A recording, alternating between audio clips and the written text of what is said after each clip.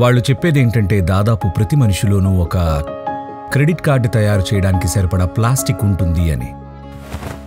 ఈరోజు పిల్లలు ఎదుర్కొంటున్న అనేక సమస్యల్లో చిన్న పిల్లల్లో థైరాయిడ్ సమస్యలు ఎక్కువ శాతం దీనికి సంబంధించినవే. ఇంకా బుద్ధిమాంద్యం ఇలా అనేకమైనవి దీంతో ముడిపడి ఉన్నాయి. దీనివల్ల ఎన్ని సమస్యలు వస్తున్నాయో మీకు తెలియదు.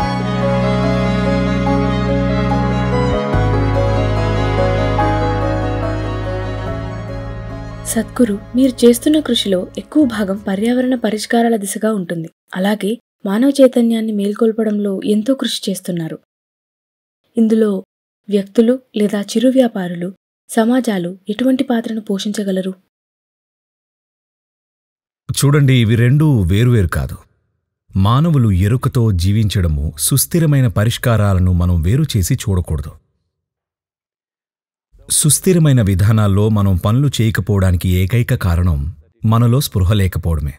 We are not conscious. We are not doing our activity on this planet. ఈ భూమి మీద మనం చేసే పని పట్ల స్పృహతో లేం. ప్రతి ఒక్కరికి వారి వారి నిర్బంధతలు ఉంటాయి. వ్యక్తులకు సమాజాలకు అలాగే దేశాలకు వాటి వాటి నిర్బంధాలు ఉన్నాయి. వాస్తవిక ప్రపంచం నిర్బంధతలతో కూడి ఉంది. వీటిని సంతృప్తిపరచుకోవడానికి మనం ఎలాంటి పనుల్ని చేస్తున్నామంటే మన ఉనికి మూలాన్ని సైతం హరించేస్తున్నాయి. ఇది పంచతంత్రంలో ఒక కథ లాంటిది. అదేంటంటే ఒక వ్యక్తి చెట్టు కొమ్మ అంచు దగ్గర కూర్చొని కొమ్మని నరుకుతూ ఉంటాడు. కొమ్మని విజయవంతంగా నరకాలిది అన్నదే అతని లక్ష్యం. కానీ అతను విజయవంతమైతే అతను కింద పడిపోతాడు. మన పరిస్థితి అలాగే ఉంది. ఇలాంటి మూర్ఖపు పనులు చేస్తున్నాం. అందులో విజయవంతం అవ్వడం అంటే పతనం కావడమే. అవును. మనలో ప్రతి ఒక్కరూ మన జీవితాలను ఎలా నిర్మించుకోవాలంటే ఈ రోజు మనం ఏం వినియోగిస్తున్నాం? ఇది ఎక్కడ చేరుతుంది? ఈ మాత్రం స్పృహ ఉండాలి. ఈ రోజు నేను ఏది వాడుతున్నా ఇది రేపు ఎక్కడికి పోతుంది చివరకు ఏమైపోతుంది అంతిమ లక్ష్యం ఏమిటి అనేది ఆలోచించాలి. ఇప్పుడు ఒక ముఖ్యమైన విషయం ఏంటంటే భారతదేశంలో ఒక దేశంగా మనం వస్త్రాల ఉత్పత్తి దేశంగా ఉన్నాం. వందల వేల సంవత్సరాలుగా మనం అదే. ఒకానొక సమయంలో యూరోప్ అరేబియా అంతటా మన వస్త్రాలే ఎగుమతయ్యేవి. అక్షరాల అరవై శాతం వస్త్రాలు భారతదేశంలో తయారైనవే. ఈ భూమండలంలో మరెవ్వరూ ఇంత అద్భుతమైన వస్త్రాలు తయారు చేయలేదు ఈ రోజు కూడా మీరు వేసుకున్న దుస్తుల్లాంటివి మరెక్కడా చేయలేరు అవునా? అవును. భూమి మీద మరెక్కడా చేయలేదు. ఎందుకంటే ఈ నైపుణ్యం ఒక్క రాత్రిలో అబ్బేది కాదు. ఒక నాలుగేళ్ళ పాటు ఏదో కోర్సులాగా నేర్చుకుని చేసేది కాదిది. ఇది స్వభావ సిద్ధంగా అభివృద్ధి చెందుతుందన్నమాట. ఒక్కో ప్రాంతంలో విభిన్న రకాలైన నేతలు రంగు అద్దకాలు ఉంటాయి. స్థానికంగా ఏ సామాగ్రి ఉంటే దాంతో వాళ్ళు అద్భుతమైన నేత వస్త్రాలు చేస్తూ ఉంటారు. ఈ శతాబ్దం మొదటిలో నూట ముప్పై రెండుకు పైగా విభిన్న చేనేతలు ఉండేవి. ఇప్పుడు వాటిలో దాదాపు అరవై ఐదు నుండి డెబ్బై వరకు అంతరించే దశలో ఉన్నాయి. దీన్ని ఆపేందుకు మా వంతు కృషి చేస్తున్నాం. దాని గురించి తర్వాత మాట్లాడదాం. కానీ వస్త్ర పరిశ్రమ మన నైపుణ్యాన్ని చాటుతుంది. మళ్ళీ మనం ఆ స్థితిని చేరుకోవాలి. ముఖ్యంగా బ్రిటిష్ కాలంలో ఈ చేనేత అస్తవ్యస్తమైంది. భారతీయ చేనేత వ్యవస్థని వారు క్రమంగా నాశనం చేసి వాళ్ళు మాంచెస్టర్ని నిర్మించుకోవాలనుకున్నారు. అందులో వాళ్ళు సఫలమయ్యారు. సరేనా? ఇప్పుడు కోయంబత్తూరు నగరాన్ని మాంచెస్టర్ ఆఫ్ ఇండియా అని గర్వంగా చెప్పుకుంటున్నారు. అలా చేయొద్దని చెప్పాను నేను. వాళ్ళే మాంచెస్టర్ని కోయంబత్తూర్ ఆఫ్ ఇంగ్లాండ్ అనమనండి అన్నాను. ఎందుకంటే ఇది అసలైన చేనేత. పత్తి నూలు వడకడం నేయడం అంతా ఇక్కడే జరిగింది. దాని ఆవిర్భావం జరిగింది ఇక్కడే. ఒక్కో ప్రాంతంలో ఒక్కో ప్రత్యేకమైన విధానం ఉంటుంది. మనం వాటిని కనీస స్థాయిలోనైనా తిరిగి తీసుకువస్తే అవసరమైన మార్కెట్ కల్పించి మనం ఈ నైపుణ్యాన్ని పునరుద్ధరించుకుంటే గనుక ఈ దేశంలో రానున్న ఐదారేళ్ళ కాలంలో దాదాపు ఇరవై కోట్ల నుండి ముప్పై కోట్ల మందికి ఉపాధి దొరుకుతుందని నేనంటాను. వస్త్ర పరిశ్రమలో కూడా కొంత కృషి జరిగింది. ఆ విధానపరమైన మార్పులు వచ్చాయి. మేం కూడా వారితో కలిసి పనిచేస్తున్నాం. కానీ ఒక విప్లవం రావాలంటే అది మాత్రం సరిపోదు. అన్నిటికీ మించి ఇదంతా జరగాలంటే మార్కెట్ ఉండాలి. ఆ విషయంలో మీ పాత్ర ఎంతో కీలకం. అందుకే అందుకే నేను మీతో మాట్లాడుతున్నాను. మార్కెట్ కావాలి. మార్కెట్ వైఖరి కళాత్మకత సుస్థిరత దృష్ట్యా సున్నితంగా ఉండాలి. ప్రస్తుతం ప్రజలు ఒక షాపుకు వెళ్ళి పది నైలాన్ దుస్తులు కొనాలనుకుంటారు. ఊరికే అట్లా కొనేస్తారు. షాపింగ్కి వెళ్తే ఎవరు ఒక్క వస్తువు తాపరు. ఎందుకంటే వారు రెండు డజన్లు కొని ఒక మూడు వేసుకొని బోర్ కొట్టి ఈ రెండు డజన్లు పూర్తయ్యేసరికి మళ్ళీ ఇంకోసారి షాపింగ్ పూర్తి చేసి ఉంటారు. అంతే కదా? అంతేగా?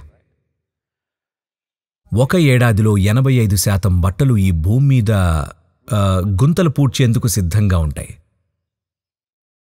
ప్రతి సంవత్సరము పదివేల కోట్ల వస్త్రాలు అమ్ముడవుతూ ఉన్నాయి. పదివేల కోట్ల వస్త్రాలు. సరేనా? ప్రతి ఏడాది ఎనిమిది వేల ఐదు వందల కోట్ల సంఖ్యలో వస్త్రాలు గుంతలు పూడ్చడానికి మిగులుతున్నాయి. అందులో అధిక భాగం పాలిస్టర్. ఇది అత్యంత ప్రమాదకరమైన కాలుష్య కారకాల్లో ఒకటి. ఎక్కడ చూసినా పాలిఫైబర్ ఉంటుంది. గాల్లో ఉంది భూమిలో ఉంది నీటిలో ఉంది.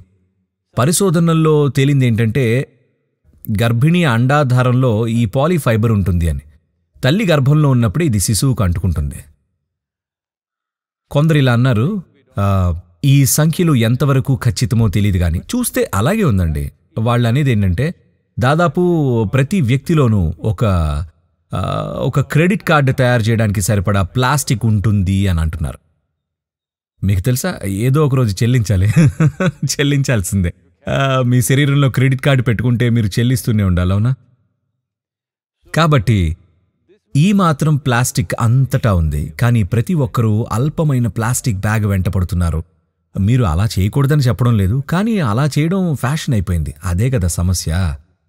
ప్లాస్టిక్ కవర్లు వీధుల్లో గాలికి ఎగురుతాయి కాబట్టి ఏ బిచ్చగాడో లేకపోతే ఎవరైనా సంచులు ఏరుకునే వాళ్ళు ఉంటారు కదా దాన్ని ఏరుకుంటూ ఉంటారు. ఇండియాలో రీసైకిల్ చేసే విధానం మంచి ఊపందుకుంది అందుకుంది. దానికి కారణం మీ పర్యావరణ స్పృహ కాదు పేదరికం కారణంగా. వాళ్ళు అవన్నీ ఏరుకుంటున్నారు. భారతదేశంలో మాత్రమే. సుమారు సుమారు తొంభై శాతం ప్లాస్టిక్ బాటిళ్ళు రీసైకిల్ అవుతూ ఉంటాయి. తెలుసా విషయం మీకు? దీనికి కారణం మనలో పర్యావరణ స్పృహ పెరగడం అని కాదు. వారు పేదవారు కాబట్టి ఆ బాటిళ్ళను ఏరుకుంటున్నారు. ఎలాగోలాదో జరుగుతుంది. కానీ పాలిఫైబర్ చేస్తున్న నష్టం శరీరంలోకి ప్రవేశించే విధానం ప్రత్యేకించి పిల్లలు. వాళ్ళు పాలిఫైబర్ను ధరిస్తూ ఉన్నారు. ఎందుకంటే మీకు తెలుసా పాలిఫైబర్కి మండే స్వభావం ఎక్కువగా ఉంటుంది. అందుచేత దానికి మంటలను ఆర్పే రసాయనాలతో పూత వేస్తూ ఉంటారు. ఈ రసాయనాలు క్యాన్సర్ కారకాలు.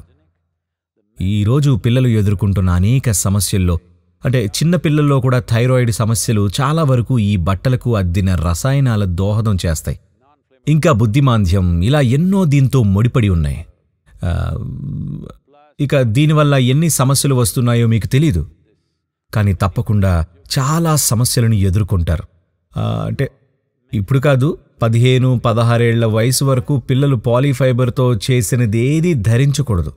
వాళ్ళు కేవలం ఖచ్చితంగా సహజ నూలు వస్త్రాలను మాత్రమే ధరించాలి. అది చాలా మంచిది వాళ్ళకి. అంటే పెద్దలకు అవసరం లేదని కాదు పదిహేడు పద్దెనిమిదేళ్ళ వయసు దాటిన వారు దీన్ని తట్టుకోగలరు. అప్పటి వరకు మాత్రం మీరు సహజ నూలు వాడడం తప్పనిసరి అని నేను చెప్తాను. కానీ ఇప్పుడు సమస్య ఏంటంటే మీకు ఎన్ని బట్టలు కావాలి? అవన్నీ నూలు లేదా పట్టుతో చేసినవి దొరకవు కాబట్టి చివరకు పాలీఫైబర్ వస్త్రాలు కొంటారు అంతేగా? అది చౌక కాబట్టి ఎక్కువ మంది దానికే మొగ్గు చూపుతున్నారు. చూడండి కాటన్ బట్టలు లాంటివి కూడా చవకలు అందించవచ్చు కానీ మనం ఉత్పత్తిని పెంచాలి. కాబట్టి నేను సూచించే ఒక సులభమైన విషయం ఏంటంటే మీరు తెలంగాణలో ప్రభావితం చేయగలరు కాబట్టి మీరు దీన్ని ముందుకు తీసుకువెళ్ళాలి. కొన్ని రాష్ట్రాల్లో నేను దీనికై కృషి చేస్తున్నాను. కనీసం స్కూల్ యూనిఫామ్ తప్పనిసరిగా కాటన్తోనే చేసిందై ఉండాలి. నారతోనో లేదా వాళ్ళు ఏది కొనగలరో అది సరేనా? కానీ అది పాలీఫైబర్ మాత్రం అవ్వకూడదు. మీరు దాన్ని మళ్ళీ ఉపయోగించలేరు. కేవలం ఒక శాతం మాత్రమే రీసైకిల్ చేయబడుతుంది. ఎందుకంటే ఈ పాలీఫైబర్ని ఉన్నది ఉన్నట్టుగా ఎవ్వరూ ఉపయోగించరు. వివిధ రకాల అల్లికలు రావాలంటే దాన్ని ఎల్లప్పుడూ సంక్లిష్టమైన సమ్మేళనంతో కలపాలి. You can never recycle that complex material. కాబట్టి ఆ పదార్థాన్ని మీరు మళ్ళీ రీసైకిల్ చేయలేరు. అది అచ్చంగా నైలాన్ లేదా అచ్చంగా పాలిఫైబర్ అయితే మనం రీసైకిల్ చేసేవాళ్ళం. మీరు దాన్ని ఎన్నో ఇతరత్ర వాటితో కలుపుతున్నారు కాబట్టి మళ్ళీ వినియోగించలేరు. వస్త్రాల విషయంలో కేవలం ఒక్క శాతం పాలిఫైబర్ మాత్రమే మళ్ళీ వినియోగించబడుతుంది. మిగతాది ప్రకృతిలో కలిసిపోతుంది. మళ్ళీ రకరకాల మార్గాల్లో మనల్ని చేరుతుంది. మీ గుండెలో ఒక క్రెడిట్ కార్డు లాగా మారి వస్తుంది. క్రెడిట్ కార్డు చెప్పాగా?